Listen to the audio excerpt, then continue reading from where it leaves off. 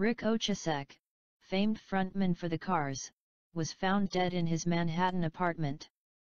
The New York City Police Department told CBS News he was found deceased early Sunday.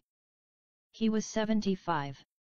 The Cars chart-topping hits in the late 1970s and 1980s included Just What I Needed, Shake It Up and Drive.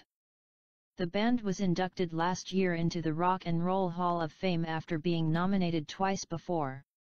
Ric Ocasek's family is opening up about the death of the Cars frontman. In a statement released Monday, Paula Porizkova, the rocker's wife of nearly 30 years, said the rocker died peacefully in his sleep. Ric was at home recuperating very well after surgery, Porizkova, said in an Instagram post. Our two sons, Jonathan and Oliver, and I were making sure he was comfortable, ordering food and watching TV together.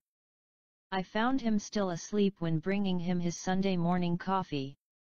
I touched his cheek to rouse him. It was then I realized that during the night he had peacefully passed on. New York Police Detective Martin Brown confirmed to USA Today that police were called to Ocasek's residence around 4 p.m. EDT Sunday. Upon arrival, police found a 75-year-old male unresponsive in bed, Brown said. He was pronounced dead at the scene. The Office of Chief Medical Examiner in New York concluded Monday that Ocasek died of natural causes, determining that hypertensive and atherosclerotic cardiovascular disease was the cause of death, with pulmonary emphysema a contributing condition. That means he suffered from high blood pressure, a chronic lung condition and a buildup of fats, cholesterol, and other substances in his arteries.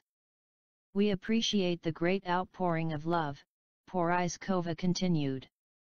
We, his family and friends, are completely and utterly devastated by his untimely and unexpected death and would appreciate the privacy to mourn in private.